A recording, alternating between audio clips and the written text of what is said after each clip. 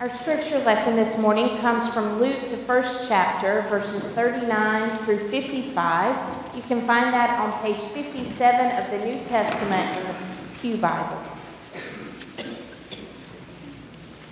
In those days, Mary set out and went with haste to a Judean town in the hill country, where she entered the house of Zechariah and greeted Elizabeth. When Elizabeth heard Mary's greeting, the child leaped in her womb. And Elizabeth was filled with the Holy Spirit and exclaimed with a loud cry, Blessed are you among women, and blessed is the fruit of your womb. And why has this happened to me, that the mother of my Lord comes to me? For as soon as I heard the sound of your greeting, the child in my womb leaped for joy. And blessed is she who believed that there would be a fulfillment of what was spoken to her by the Lord. And Mary said, my soul magnifies the Lord, and my spirit rejoices in God my Savior, for he has looked with favor on the lowliness of his servant. Surely, from now on, all generations will call me blessed. For the mighty one has done great things for me, and holy is his name. His mercy is for those who fear him from generation to generation. He has shown strength with his arm. He has scattered the proud in the thoughts of their hearts. He has brought down the powerful from their thrones and lifted up the lowly. He has filled the hungry with good things and sent the rich away empty.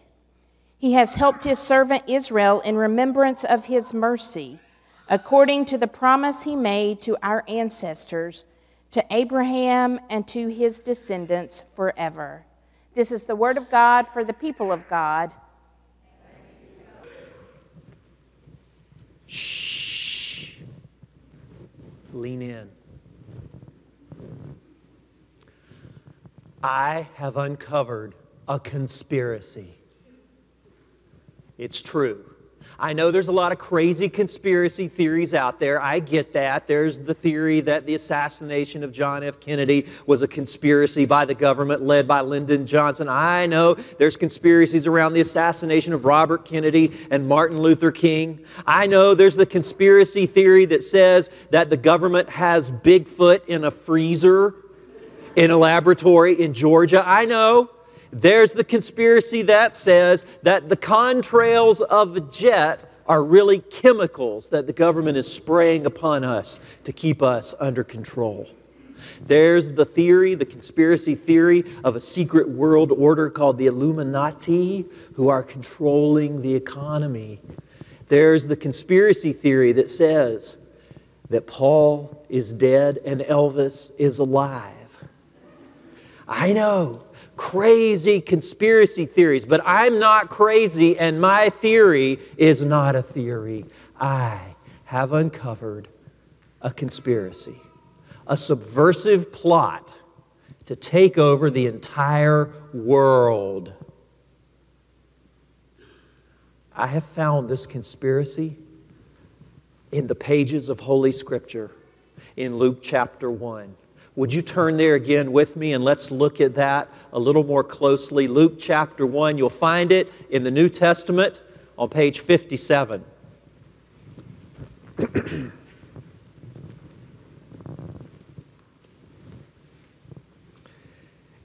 and before we dive in, let's pray together.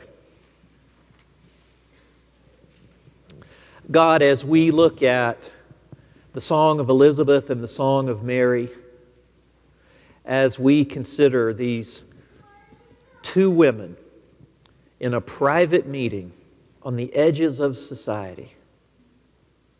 Oh God, give us eyes to see what most people miss. And let what we hear in the next few moments change us. Not only what we do, but who we are. I pray this in Jesus' name, and let all who are brave enough to agree say, Amen. Luke chapter 1, beginning in verse 39. In those days, Mary set out and went with haste to a Judean town in the hill country, where she entered the house of Zechariah and greeted Elizabeth. When Elizabeth heard Mary's greeting, the child leapt in her womb, and Elizabeth was filled with the Holy Spirit and exclaimed with a loud cry, Blessed are you among women, and blessed is the fruit of your womb. And why has this happened to me that the mother of my Lord comes to me? For as soon as I heard the sound of your greeting, the child in my womb leapt for joy. And blessed is she who believed that there would be a fulfillment of what was spoken to her by the Lord. Now I want you to think about how subversive this is. What the world sees is two pregnant women. One's a little older, one's a lot younger. One's farther along, the other is just starting to show. Two pregnant women, anybody who happened by, would just see two women enjoying each other's company. But little did they know that both of these women were pregnant because of miracles. One of them had been old and barren, the other was a virgin who had never been with a man. Little would people know that one of these women was about to give birth to God's greatest prophet John the Baptist. And inside the other one, the younger one, God Himself was taking on human flesh and preparing to enter the world disguised as one of His own creatures. Little do they know, people passing by, what God is doing right under their noses. But Mary knew. Look at verse 46. Mary said, My soul magnifies the Lord, and my spirit rejoices in God my Savior, for he has looked with favor on the lowliness of his servant. Surely, from now on, all generations will call me blessed. For the mighty one has done great things for me, and holy is his name. His mercy is for those who fear him from generation to generation. He has shown strength with his arm. He has scattered the proud in the thoughts of their hearts. He has brought down the powerful from their thrones. Are you getting this? Mary is talking about social revolution. She is talking about a plot to undermine the existing world order. If Mary had been alive in America in the 1950s, there's a good chance somebody would have dragged her before Congress and asked her, Are you now or have you ever been a member of the Communist Party? I'm not advocating communism, far from it. I'm not calling Mary a communist, far from it. I am calling Mary a revolutionary who plotted to overthrow the existing world government. She says, God has brought down the powerful from their thrones and lifted up the lowly. He has filled the hungry with good things and sent the rich away empty. He's helped his servant Israel in remembrance of his mercy, according to the promise he made to our ancestors, to Abraham and to his descendants forever. Now, just in case you didn't get it, Mary's prophesying the end of the world as we know it, predicting that her child is going to launch a revolution. You know, we always think of Mary as gentle and sweet and meek and mild. You know, round John Virgin, mother and child, so meek in her blue dress. But this is tough talk. This, this is revolutionary stuff.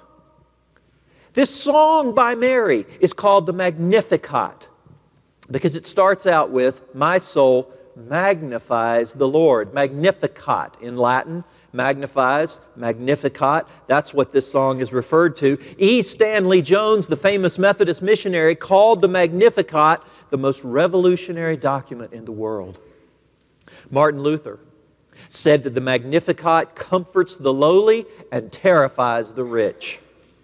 William Barclay, famous New Testament commentator, called it a bombshell filled with revolutionary terror that turns the world's standards upside down.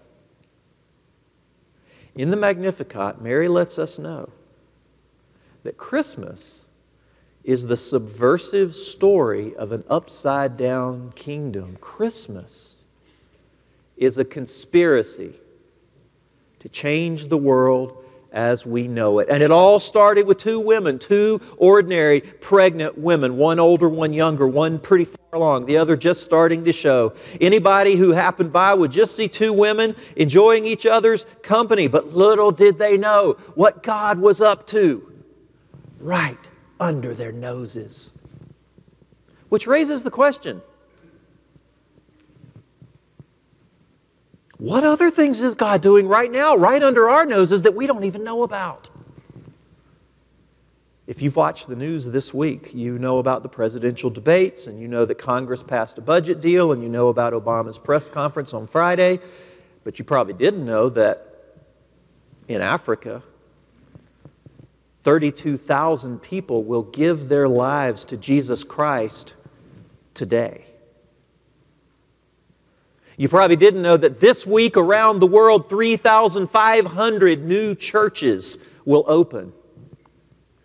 Now, if you've kept up with the news this year, you've probably heard about the research study that was released in May by the Pew Research Center. It was all over the news. The Pew Research Center did a major study, a major survey, and found that Christianity in America is declining. Church attendance is down. The percentage of people who say they are Christian is down. But what you may not know is that according to the same study, the number of committed Christ followers is actually going up. Probably didn't hear much about that. It wasn't talked about as much. Yes, the study found there are fewer cultural Christians. There are fewer people who go to church just because it's the thing to do. But there are actually more committed Christians who take their faith seriously.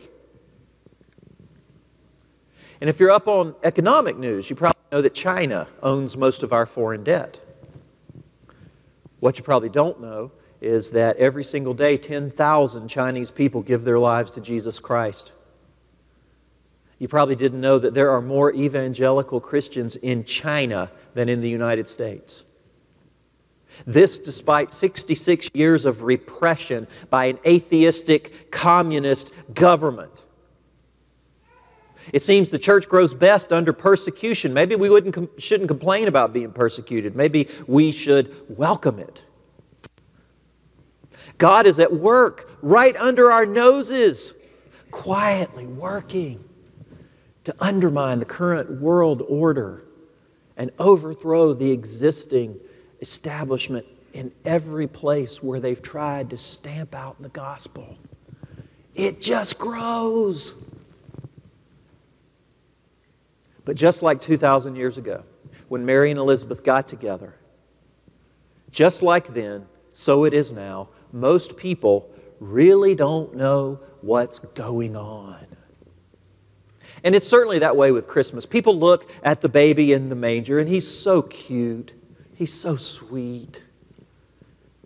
What they don't really realize is that this child is actually God sneaking behind enemy lines and recruiting subversives. C.S. Lewis said, enemy occupied territory. That's what this world is. Christianity is the story of how the rightful king has landed. You might say, landed in disguise, and is calling us to take part in a great campaign of sabotage. Christmas is a conspiracy. It is the subversive story of an upside down kingdom. Make no mistake and don't be fooled.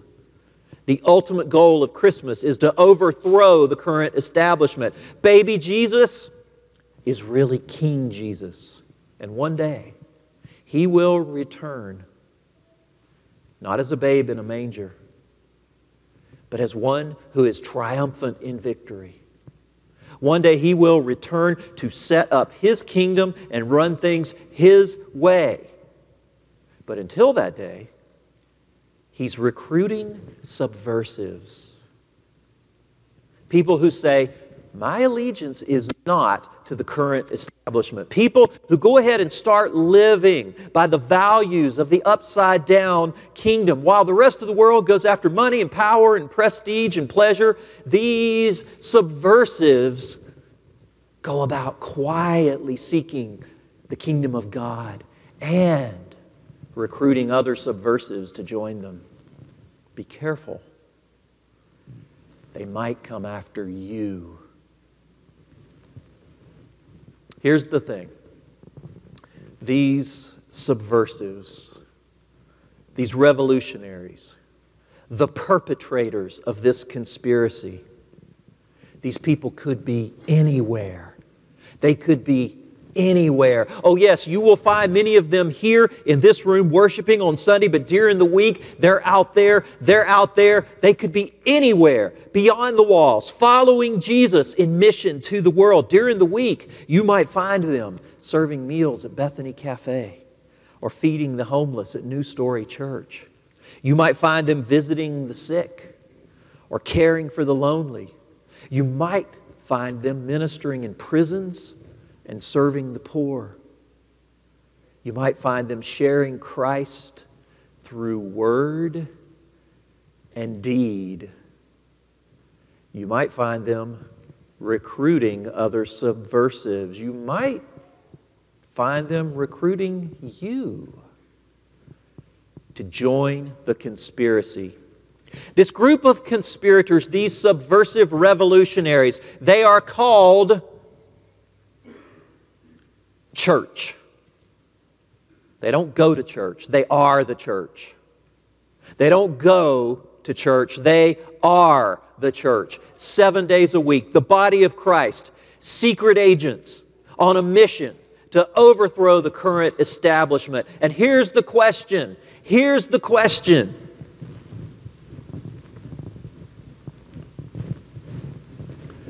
Do you want to join the conspiracy? Let's bow our heads.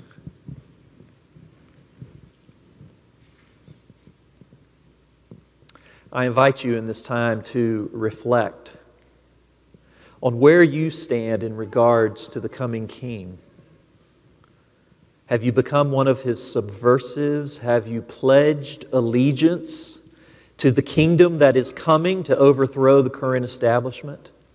Have you made a conscious decision to accept the gift Jesus gave you when He died for you and commit your life to follow Him as Lord? I invite you to think about that now.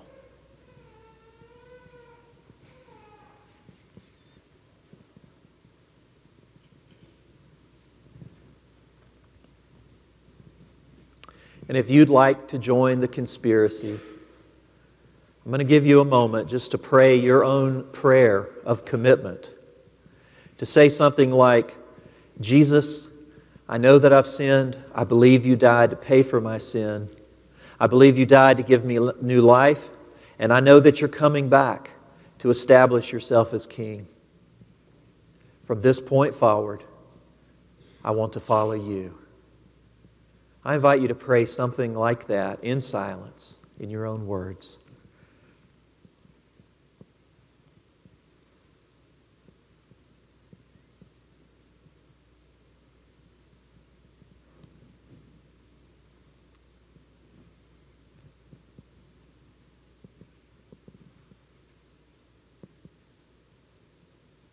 Oh God, count us among the conspirators. Count us among those who pledge allegiance to the kingdom that is coming.